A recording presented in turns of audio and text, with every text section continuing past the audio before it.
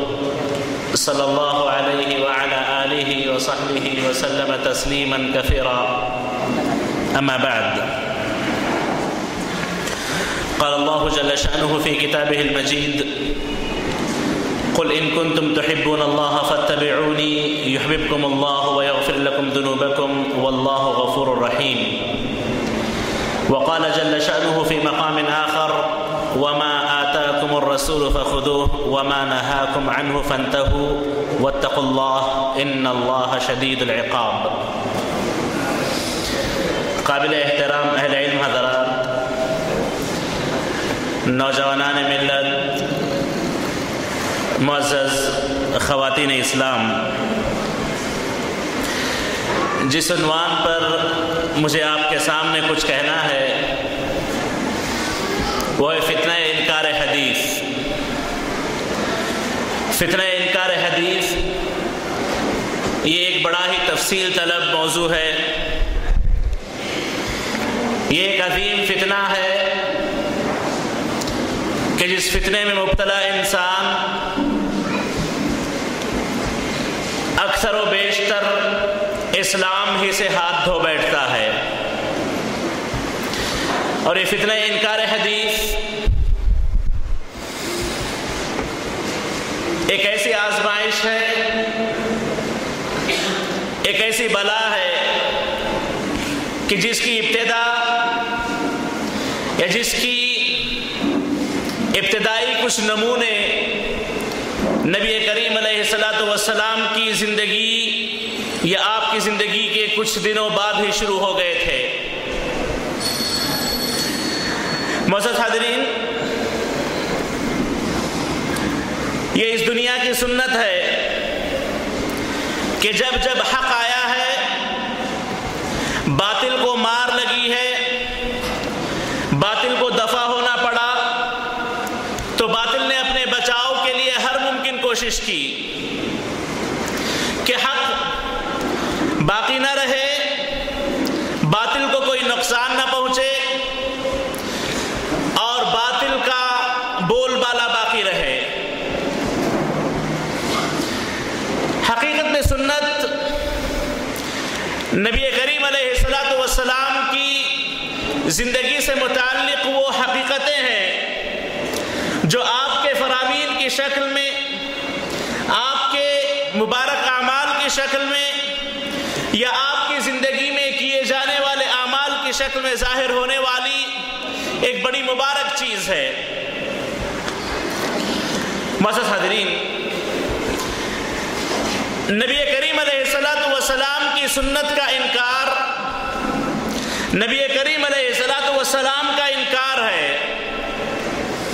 नबी करीम सलीम नबी करीम सलाम की पाबंदी, सुन्नत की पाबंदी, नबी करीम सलाम के हकीकत में इतबा और पैरवी है।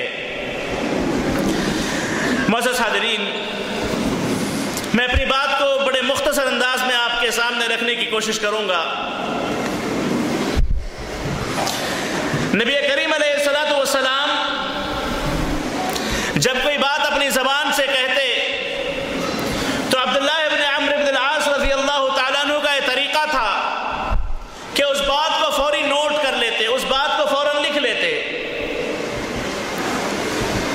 तो कुरैश ने कुफार ने अब्दुल्ला इब्न अम्र से कहा कि अल्लाह के नबी एक इंसान है उनसे गलतियाँ हो सकती हैं उनकी बात नोट नहीं की जाती उनकी हर बात को कबूल नहीं किया जाएगा उनकी तमाम बातें लिखी नहीं जाएँगी नबी करीम सलाम के पास अब्दुल्ला इब्न अम्र रज़ी अल्लाह अन्हु पहुँचते हैं वो इश्काल का इजहार करते हैं। तो नबी करीम सलाम ने जवाब में यह कहा कि उस अल्लाह की कसम जिसके हाथ में मेरी जान है, तुम जो कुछ मैं कहता हूँ लिखो।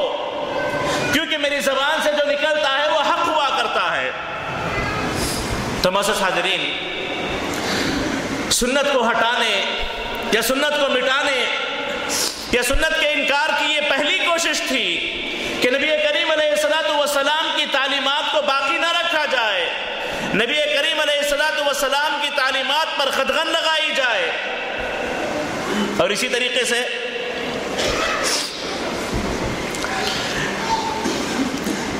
वो खारिजी सबसे पहला शख्स जो नबी करीम सलाम के पास पहुँचा अल्लाह के नबी को कुछ तकसीम करते हुए उसने देखा तो कहने लगा कि इत्तकिल्लाह या मोहम्मद दिल क्या मोहम्मद अल्लाह से डरो इंसाफ करो इंसाफ से काम लो ये इनकार नबी करीम सलाम पर यह भी एक किस्म की एक कोशिश है। या इसको भी इस किस्म का नाम दिया जा सकता है कि मुख्तलिफ़ मुहावलात हैं, मुख्तलिफ़ कोशिशें हैं कि जिसके ज़रिए नबी करीम सलाम की शख्सियत को मजरूह किया जाए। नबी करीम सलाम के अखवाल अमाल को मजरूह किया जाए। ताकि नबी करीम सलाम का वो उसवा, नबी करीम सलाम का वो मकाम बाकी न रहे। और इसी तरीके से एक और मरतबा अगरचे के वाक़ उतना इनकार हदीस पे आन मुताबिक नहीं आता, लेकिन तशकीक, शुबा पैदा करना या फिर उसमें किसी किस्म की गलत चीज़ निकालना, एक मरतबा ऐसे हुआ कि नबी करीम सलाम के पास इबन ज़ुबैर रफ़ी अल्लाह एक और सहाबी पानी के मामले में लड़ते झगड़ते पहुँचे। नबी करीम सलाम के पास बात पहुँची, अल्लाह के नबी ने कहा कि ज़ुबैर तुम पहले अपने खेत को सैराब करो, फिर उसके बाद बाजू वाले खेत पे पानी छोड़ देना। तो उसने फौरी एतराज़ करते हुए कहा, उन सहाबी ने कहा अनखान अपने अम्मिक, अपने चचेरे भाई हैं, इसलिए आप तरफदारी कर रहे हो। तो ये भी एक किस्म की वो चीज़ थी कि जिनको देख करके बाद वाले लोगों ने, इस्लाम दुश्मनों ने, या गलत अकीदा, कमज़ोर अकीदे के मुसलमानों ने सुन्नत पर शक भरी नज़रें डालना शुरू कर दिया, सुन्नत का इनकार करना शुरू किया। सादरीन, ये वो इक्का दुक्का वाकयात थे, जो नबी करीम सलाम की ज़िंदगी में वाक़ हुए, और वहीं से नबी करीम सलाम की शख्सियत पर उंगलियाँ उठाना, नबी करीम सलाम के अकवाल अफ़ाल पर उंगलियाँ उठाने की इब्तदा होती है। हाजरीन नबी करीम सलाम के इंतकाल के बाद ज़माना आगे बढ़ता गया। दो ऐसे फ़िरक़े जिन्होंने नबी करीम सलाम की अहादीस का बहुत ही ज़्यादा इनकार किया, बल्कि सहाबा को काफिर तक करार देने लगे। ये शिया, राफिजी और ये खवारिज, जिन्होंने नबी करीम सलाम की सहाबा के अकवाल को, उनकी हदीसों को लेना रद्द कर दिया, उनको छोड़ दिया। अल्लाह के नबी की कोई हदीस सहाबा की तरफ़ से आती तो उसे रद्द कर दिया करते थे। तो शिया ने, इन राफिजियों ने सहाबा की हदीस का धड़ल्ले से इनकार किया और इन खवारिज ने सहाबा की बातें ना मानी। सहाबा पर कुफर के, सहाबा पर कुफर के फतवे लगाए। तो इस तरीके से शिया और राफिजियों ने इब्तदाई तौर पर सुन्नत पर इनकार, सुन्नत को न मानना, बल्कि शिया राफिजियों ने अपनी हवा, अपने ख्वाहिशात, अपनी मर्ज़ी के मुताबिक हदीसों को घड़ना तक शुरू कर दिया। तो ये भी इनकार हदीस ही का एक तरीका था। इनकार सुन्नत ही की एक शक्ल थी। और इसी तरीके से, इसके बाद जमाना कुछ और आगे बढ़ा तो मुतसिली पैदा हुए। ये वो मुतसिला, जिन्होंने अपनी अक्ल पर, अपनी समझ बूझ पर एतमाद करते हुए नबी करीम सलाम की अहादीस का रद्द करना शुरू किया। नबी करीम सलाम की अहादीस को अपनी अक्ल की, अपनी समझ की बुनियाद पर रद्द करने लगे। इनका एक फ़िरका जन्म में आया, इनका एक फितना जन्म में आया। और अल्हम्दुलिल्लाह, इमाम शाफी रहमल्ला ने अपनी किताब अर्रसाला और अपनी किताब अलुम में इन लोगों पर बड़ा बेहतरीन रद्द किया है। इन लोगों के शुकों को शुभात पर बड़े अच्छे अंदाज से रद्द कर दिया है इमाम शाफी रहमल्ला ने। इसी तरीके से मामला चलता गया, जमाना आगे बढ़ता गया। पांचवी सदी हिजरी। पांचवी सदी हिजरी में इल्म कलाम, मंतिक, फ़लसफ़ा, यूनान की मंतिक, इसी तरीके से मुख्तलिफ़ किस्म की चीज़ों ने मुसलमानों के जहनों पर अपना असर डालना शुरू कर दिया। मुसलमानों के जहनों पर यह चीज़ें गालिब होने लगी। तो उस ज़माने में इनकार हदीस इनकार सिफात इलाहिया, यानी कई ऐसे फितने जन्म में आए जिनके नतीजे में ये एक चीज़ बड़ी वाजह रही कि इन लोगों ने नबी करीम सलाम की अहादीस का या तो बिल जुमला तौर पर इनकार किया, या जुजवी तौर पर अल्लाह के नबी की गैब से मुतल अहादीस का इनकार करने लगे। अल्हम्दुलिल्लाह। अल्लाह भाई तैमिया रहमल्ला और उनके शागिर्दों ने बड़ा डट के मुकाबला किया। बड़ा डट के किया। उनके तमाम फलसफों, उनकी तमाम मंतिकों का उन्हीं की मंतिक उन्हीं के फलसफे में मुँह तोड़ जवाब दिया। और उसके बाद ज़माना और आगे बढ़ता गया।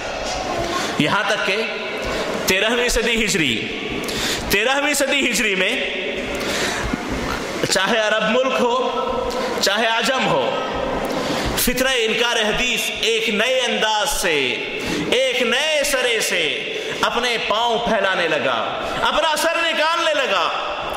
चनानच आलम अरब में मोहम्मद अब्दू जमालुद्दीन अफगानी और इसी तरीके से ताहा हुसैन, अहमद अमीन, ये वो कुछ नाम हैं जिन्होंने सुन्नत के मामले में तशकीक पैदा करनी शुरू की। सुन्नत के मामले में शुकू व शुभात का इजहार करना शुरू किया, मुख्तलिफ़ शक्लों से, मुख्तलिफ़ नामों से। उन लोगों ने पूरी कोशिश इस बात की की कि नबी करीम सलाम की अहादीस का जो मकाम है, उस मकाम को उतार दिया जाए और उन लोगों ने इस बात का नारा लगाना शुरू किया कि हमारे लिए कुरान काफ़ी है।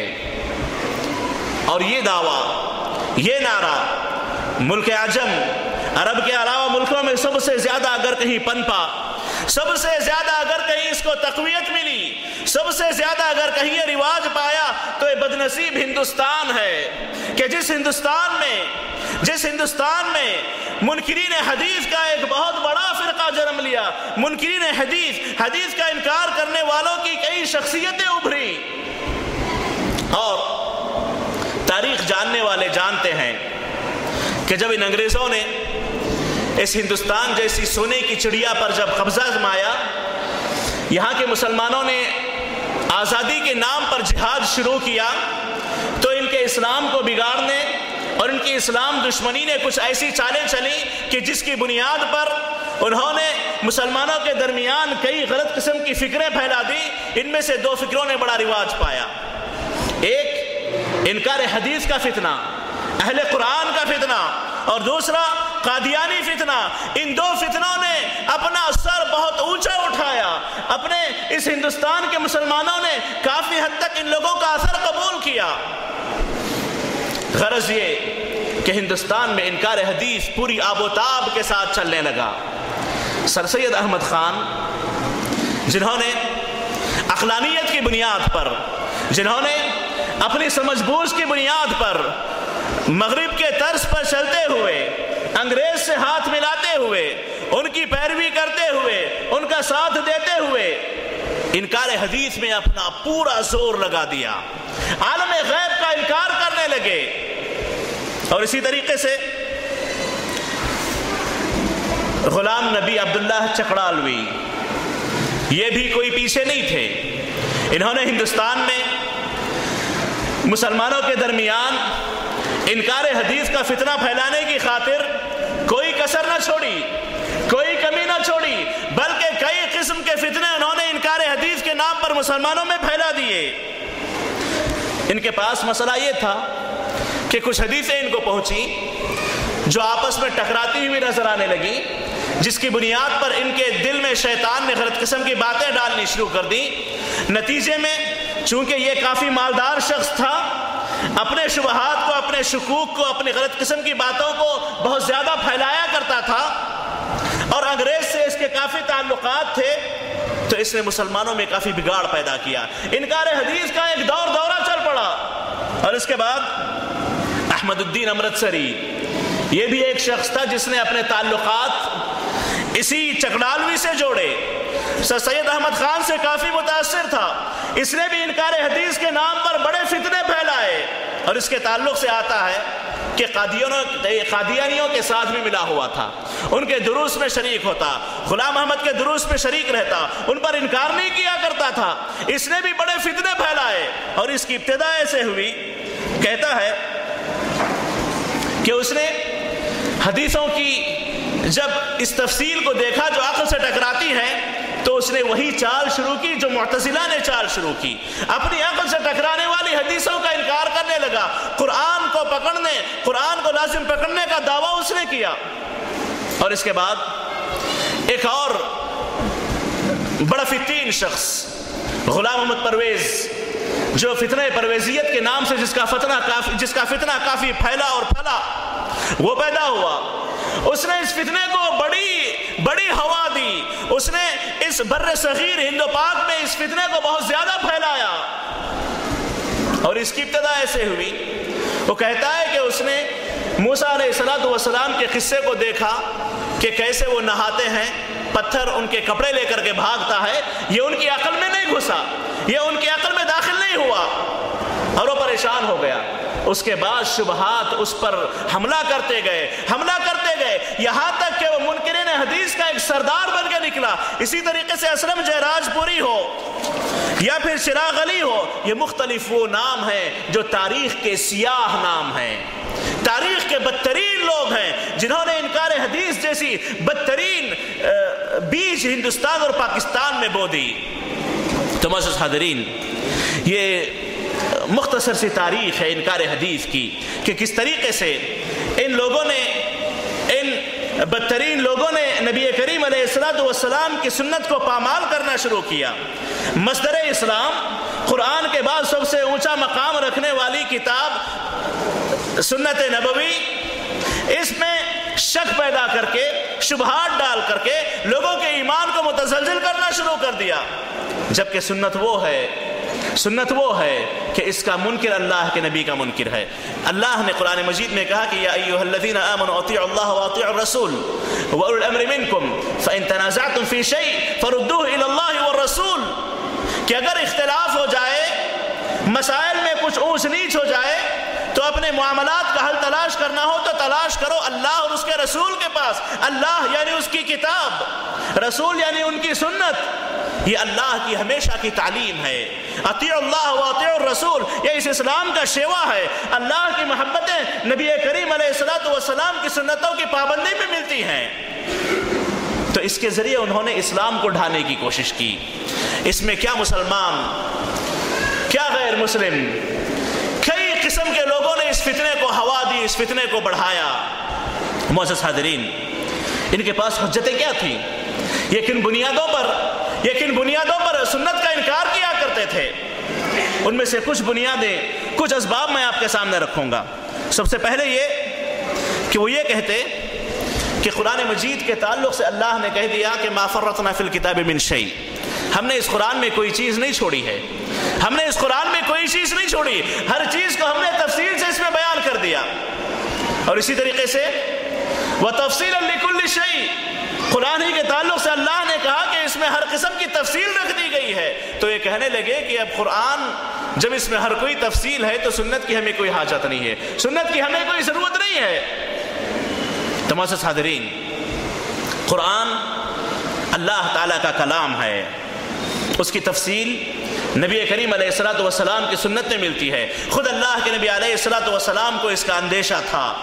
बल्कि अल्लाह के नबी ने पेशेंट को ये सुना दी कि कुछ ऐसे पेट भरे लोग आएँगे, जो अपनी मसंदों पर टेक लगाए कहेंगे कि हसबुना किताब अल्लाह कुरान हमारे लिए काफ़ी है। मैं वजदना फ़ी तबाना, कि जो उसमें मिल जाए, हम उसकी इतवा कर लेंगे। ऐसे पेट भरे लोग आएँगे। इमरान बिन हुसैन अल्लाह के पास एक शख्स आया। उसने कुछ ऐसी ही बात कही। इमरान ने हुसैन रज़ी अल्लाह ने हदीस सुनानी चाहिए तो उसने कहा कि हमें कुरान सुनाओ, हदीस नहीं चाहिए। इमरान इबन हुसैन रज़ी अल्लाह ने उसको अपने करीब बुलाया। बुला करके कहा कि अल्लाह कुरान में नमाज़ पढ़ने का हुक्म देता है। अब नमाज़ की रकातों की तादाद तुम कहाँ से लाओगे? नमाज़ पढ़ने का तरीका तुम कहाँ से सीखोगे? अल्लाह कुरान मजीद में जक़ात का, फुला का फुला का हुक्म देता है। उसकी तफसीलात कहाँ से लाओगे? फिर इमरान इबन हुसैन रज़ी अल्लाह ने यह बात बयान की कि करीब है कि पेट भरे लोग इस दुनिया में आएँगे, सुन्नत का इनकार करेंगे। तो मोसस हाजरीन कुरान मजीद अगरचे कि उसमें सब तफसील है, लेकिन सुन्नत के बगैर वो तफसील नामुकम्मल है। उस वाक़े को याद करें। इबन मसूद रज़ी अल्लाह तु ने एक मरतबा एक औरत को देखा, जो नाजायज़ जीनतें अपना रही थी। कहा कि उस पर अल्लाह की लानत है, कुरान में इन पर लानत की गई है। वो औरत गई उम याकूब नामी औरत थी, जाकर के उसने कुरान पढ़ा। कुरान में उसे कहीं ना मिला कि अल्लाह ने इस किस्म की औरतों पर लानत की है। वापस आती है। अल्लाह के नबी सलाम के इबन मसूद रज़ी अल्लाह के पास पहुँच कर कहती है कि मैंने पूरा कुरान पढ़ लिया, लेकिन कहीं ऐसी कोई बात नहीं मिली कि अल्लाह ताला इस किस्म की औरतों पर लानत भेजता हो। कहने लगे कि तुमने कुरान नहीं पढ़ा। क्या तुमने कुरान में यह आयत नहीं पढ़ी कि वमा आता तुम रसूल वमा अल्लाह के नबी जो कहने सुन लो, अल्लाह के नबी जिससे रोक दे रुक जाओ, क्या तुमने नहीं पढ़ा?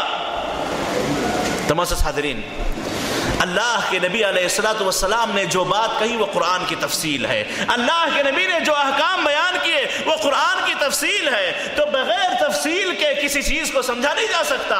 और इनके शुभात में से एक ये भी शुभा था कि अल्लाह ने सिर्फ़ कुरान की हिफाजत की ज़िम्मेदारी ली है।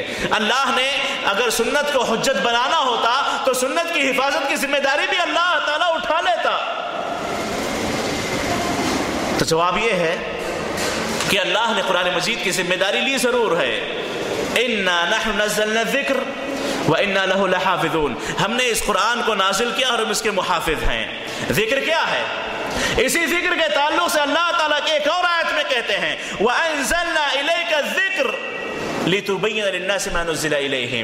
कि हमने नबी आपको ज़िक्र दिया इसलिए है ताकि इस ज़िक्र की आप वजाहत कर सकें इस ज़िक्र की आप शरह कर सकें अल्लाह ताला ने जब कुरान की हिफाजत की तो कुरान की तफसील कुरान की तफसीर कुरान की शरह कुरान जो मुजमल है उसको उसका उसकी तफसील ये अल्लाह ने पूरी हिफाजत की ज़िम्मेदारी ली है और ये दीन क़यामत तक बाकी रहेगा इस दीन पर अमल क़यामत तक होता रहेगा और दीन पर अमल कुरान को सिर्फ़ लेकर के हदीस को छोड़ करके नहीं किया जा सकता। कुरान के साथ जब तक हदीस ना हो, कुरान की आयात के समझने में इंसान के लिए बड़ी दुश्वारी है। इमरान हुसैन रज़ी अल्लाह का वो कौल, जैसे जो भी मैंने आपके सामने बयान किया, एक वाज दलील है कि अगर कोई बंदा कुरान मजीद को ले, सुन्नत को छोड़ दे तो कुरान मजीद के मुताबिक कभी अपनी ज़िंदगी गुजार नहीं पाएगा, जब तक कि सुन्नत उसका साथ ना दे दे। और इसी तरीके से उन लोगों ने यह भी एक शोशा छोड़ा, या ये भी एक गलती उन्होंने शुभ लोगों में डाला कि सुन्नत ये बड़े ज़माने के बाद लिखी गई। बल्कि अल्लाह के नबी ने तो इसके लिखने से मना किया था। अगर सुन्नत हुज्जत होती तो उसको फौरी लिखा जाता, या अल्लाह के नबी के ज़माने में लिखा जाता। हकीकत यह है कि बनु इसराइल, अहले किताब उनकी गुमराही और बर्बाद होने के इसबाब में से एक सब ये था कि वो लोग अपनी अल्लाह की किताब के साथ दूसरी चीज़ें मिला करके लिखा करते। तो कहीं ऐसा कोई वाक़ उम्मत मुस्लिमा के साथ ना पेश आ जाए, नबी करीम सलाम ने सिर्फ़ कुरान के लिखने का इब्तदाई ज़माना में हुक्म दिया था।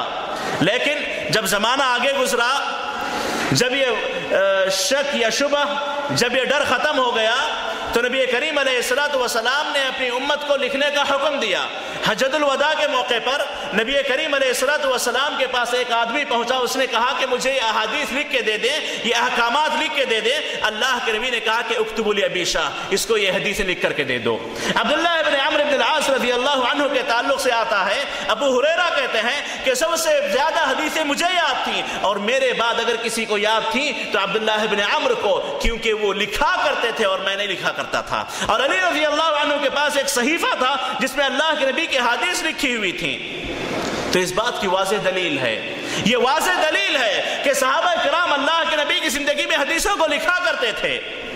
और इसी तरीके से अल्लाह के नबी ने, या अल्लाह के नबी की इन हदीसों को कुछ मुद्दत के बाद लिखा गया, उसकी वजूहत थी। सहाबा, या वो ज़माना, ऐसा ज़माना था कि इंसान को लाखों करोड़ों हदीसें याद रहती हाफिजा सबसे उम्दा हाफिजा था। और जैसे जैसे ज़माना दूर होता गया, हाफिजा कमज़ोर होता गया तो हदीसों को किताबों में नकल कर दिया गया। और अल्हम्दुलिल्लाह, पूरी हदीसें किताबों में नकल हैं। पूरा दीन किताबों में नकल है, महफूज है। पूरी अमानतदारी के साथ साहबा कराम से सुनने वाले ताबेन तब ताबेन मुहदसिन ने उन तमाम हदीसों को महफूज किया। उसमें कोई ऊंच नीच न की। और इसी तरीके से इन मुनकिन सुन्नत को अगर देखें, वक्त कम काफ़ी कम है, कम होता जा रहा है। मैं यहाँ पर यह भी कह दूँ कि जितने लोग हदीसों का इनकार करते हैं, या जिन जिन लोगों ने हदीसों का इनकार किया, या आज के ज़माने में भी देख लें कि जो जो लोग हदीसों में शुकू को शुभात पैदा करना चाहते हैं, वो दो किस्म के लोग होंगे। या तो उन लोगों को अपनी अक्ल पर, अपनी समझ पूछ पर बड़ा नाज होगा। की बुनियाद पर हदीसों को रद्द किया करेंगे। या फिर वो लोग मगरब से, मगरबी तहजीब से, अंग्रेज़ी तालीम से, या अंग्रेज़ी जबान के कल्चर से, या अंग्रेज़ों के कल्चर से काफ़ी मुतासर होंगे, जिसकी बुनियाद पर वो हदीसों को रद्द करेंगे। और उन्हें लगेगा कि ये वो हदीसें हैं जो आज के जमाने के एतबार से फिट नहीं होती। आज के जमाने और आज की तरक्की के एतबार से मुनासिब नहीं होती। इसी वजह से कई आज ऐसे लोग पाए जाते हैं, जिन्होंने हदीसों का इनकार सिर्फ़ इस बुनियाद पर किया कि वो किसी हदीस को देखते हैं और इस दुनिया में पेश आए किसी वाक्य को देखते हैं और इन दोनों के दरमियान कोई तदबीक नहीं दे पाते, इनको समझ नहीं पाते। नतीजे में वो हदीस का इनकार कर बैठते हैं, नतीजे में हदीस को रद्द कर बैठते हैं, क्योंकि बड़ा आसान है, हकीकत को ठुकरा नहीं सकते। तो हदीसों को रद्द कर देते हैं, हदीसों को छोड़ देते हैं, या उसमें शुकू को शुभात पैदा कर देते हैं। और ये उनका दावा कि ये हदीसें लोगों की लिखी हुई हैं। पुराने मजीद अल्लाह की तरफ़ से नाजिल करता है। लोगों की लिखी हुई बातों में कहीं ना कहीं गलती ज़रूर हो सकती है। मोसस हादरीन ये हदीस की हिफाजत के लिए अल्लाह ने जिन मुहदसिन को पैदा किया, वो इस ज़माने के या फिर इस उम्मत की एक ऐसी खसूसियत उन लोगों को अल्लाह ने अता की जो किसी और उम्मत को अल्लाह ने अता नहीं की थी।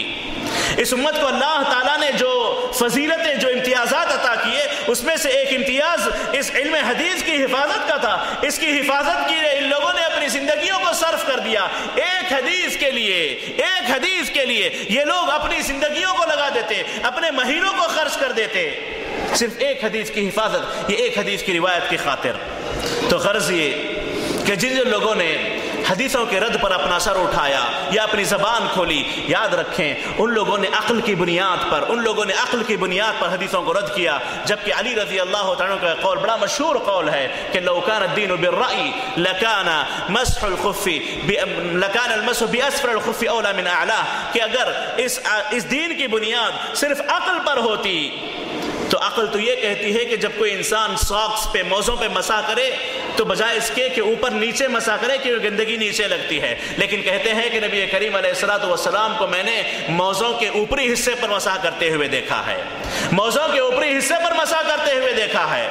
तो मौसस हदीस या सुन्नत नबी करीम सलाम की तरफ़ से एक ऐसी चीज़ है कि जिसके बगैर इंसान अपने दीन और ईमान को मुकम्मल नहीं कर पाएगा। आखिर में एक बात कहते हुए मैं अपनी बात ख़त्म कर दूँ। कि जिस कलमे की बुनियाद पर हम मुसलमान हैं अशद अल्लाह अशद अन्ना मोहम्मद रसूलुल्लाह, जिस कलमे की बुनियाद पर हम मुसलमान हैं, ये कलिमा अशद अन्ना मोहम्मद रसोल्ला हमसे कुछ तकाजे करता है। इस कलिमे के तकाज़ों में से एक तकाजा ये है कि तस्दीक फ़ीमा अखबर। अल्लाह के नबी ने जो बात बता दी हो, अल्लाह के नबी ने जो बात कह दी हो, और अल्लाह के नबी की कोई बात सही सनत से साबित हो जाए तो उसकी तस्दीक करें, उसको सच्चा जाने, उसको सच्चा समझें, ये एक मुसलमान का अकीदा और कलीम तोहहीद का तकाजा है।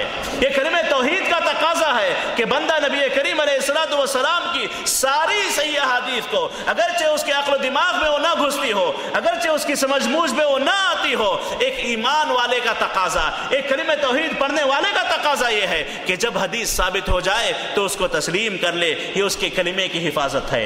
ये उसके अल्लाह के नबी पर ईमान की हिफाजत है। अगर वो उस पर कलाम करने लगे तो अपने कलिमे को कमज़ोर कर रहा है। अपने कलिमे को, अपने ईमान को कमज़ोर कर रहा है। तो याद रखें अशद मोहम्मद रसूलुल्लाह।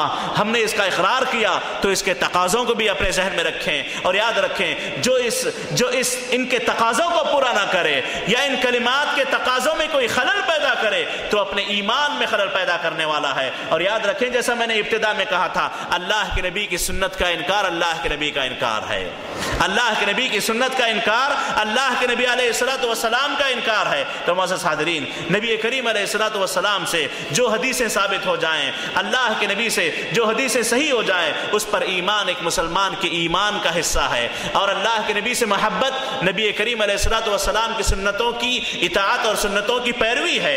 अल्लाह के नबी ने कहा कि मन अहब्ब सुन्नति, मन अहब्बनी, कान फिर जन्ना कि जो आदमी मेरी सुन्नत से मोहब्बत करे, या जो आदमी मुझसे मोहब्बत करे, जन्नत में वो मेरे साथ होगा। तो वैसे हाजरीन अल्लाह के नबी से मोहब्बत अल्लाह के नबी की सुन्नत से मोहब्बत है। अल्लाह के नबी की सुन्नत की पैरवी, ये इंसान को अल्लाह के नबी की जन्नत में संगत और सहबत नसीब करेगी। अल्लाह ताला से दुआ है कि अल्लाह ताला हमें नबी करीम सलाम की सुन्नतों से महब्बत और उन पर अमल की तोफ़ी नसीब फरमाए और अल्लाह ताला हमें अपनी ज़िंदगियों को पूरे ईमान और अखलास के साथ गुजारने की तोफ़ी नसीब फरमाए। ये मुख्तलिफ़ मुतफरक मुतशद कलिमात थे जो मैंने आपके सामने रखे। अल्लाह से दुआ है कि अल्लाह ताला इसको कबूल फरमाए वसल वसलम नबीना महमद वाली वसाबी अजमाइन वसलम वरहमल वर्का